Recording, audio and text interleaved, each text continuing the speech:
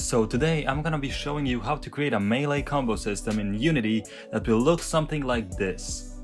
I also put this into my game and it works great. So to start, I already imported my characters, some animations and a movement script. If you would like to learn how to import characters and animations from Mixamo, check out the video on the right or in the descriptions down below. So after you have your character and the movement script, we need to get a sword model. What I do is I usually go to Google and write sword model FBX because that is the best model to work with in Unity. I found this medieval sword which looks really cool so I'm gonna go ahead and download it. When you import the model to Unity, you have to first make a prefab of it. So, drag the model from the project to the scene and then back to the project and make an original prefab. Now you can change the color and mine is gonna be brown, it's gonna be like some sort of a wooden training sword. You can also place a box collider on it if you want to deal damage later or something that you like. Now you need to put that sword into your character's hands, and your character model has to have a hand object. If you follow my Mixamo animations video or you already imported Mixamo's character, you can expand this, expand the Mixamo rig hips, then spine, then spine 1, spine 2, right shoulder, right arm, right forearm, and then you will finally see the right hand. You place the sword there. And adjust the sword however you'd like. I'll position it like this. Now if you run the game you can see that the sword follows your animations and something that I usually do is I run the game and then I adjust the position of the sword while the game is running. I go to copy component and then stop the game and, and paste the component values. That way you can position your sword more precisely. Now it's time for some coding and don't worry it's not a long script. I created a fighter script. The first thing that we need is an animator. Then in the start we have to initialize that animator. So we create an onClick method and we need some variables. So cooldown time, next fire time, static int number of clicks, uh, last click time and max combo delay. In the onClick method, we have to do last click time is equals to time dot time, no of clicks plus plus. Then in an if statement, we check if the number of clicks is 1. It basically does a counter of how many clicks we've, we've actually done. And before we go any further, we have to add some animations. You need to add an animator to your player game object, and in that animator we need to add all of our attacks. We go right click, create state and empty.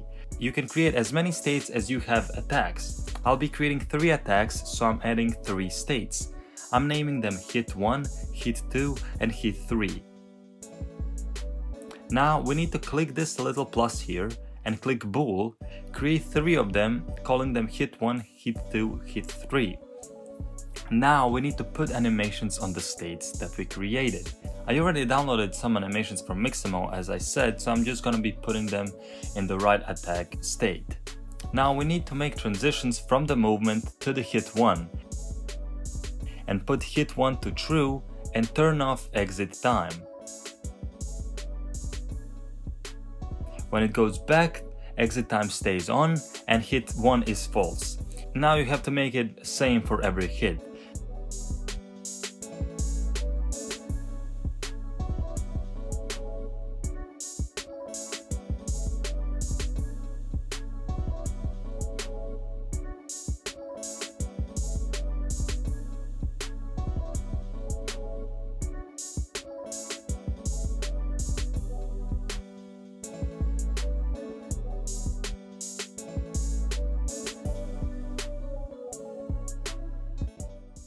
Now if we go back to our script, we put anim here, set bool hit 1 to true.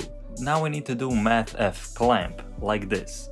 And clamps are the given value between the minimum and the maximum float and returns the given value if it's within the minimum or the maximum range, if that makes sense.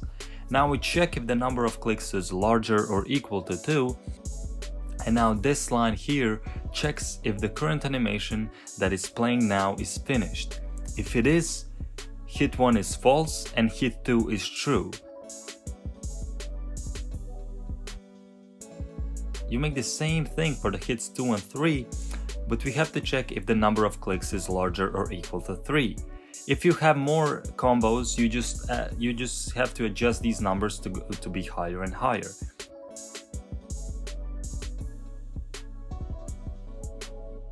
Now we need to go to the update and check if maybe the animations that you are playing are over and we just need to turn them off. So basically that means if you click only one click at a time, you'll be only playing the first animation, so combo will only work if you continuously click the mouse. Now, this could be done with on exit state, but I didn't get it to work that way, so it wasn't as good as this. So, on the last if statement, so you have to put the number of clicks to zero. We only need to put a cooldown now. We check this if and we reset the number of clicks. And if the time dot time is larger than the next fire time, we then check for the input and in the input we check for the on-click method that we created. And we are done. So it's actually a really simple and quick script. If you drag the script to the player game object, uh, and change the cooldown time, I found for me the best is 0.8 and if you launch the game you will see that you can hit some dope ass combos.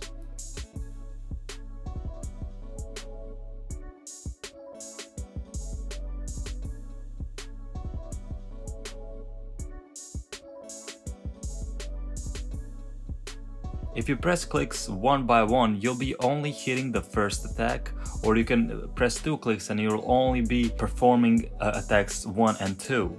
That's what I was talking about earlier in the update method. So if you enjoyed this video, please, please, please consider subscribing. It will mean the world to me. Also, if you want to download the script, you can join my Discord and find it there.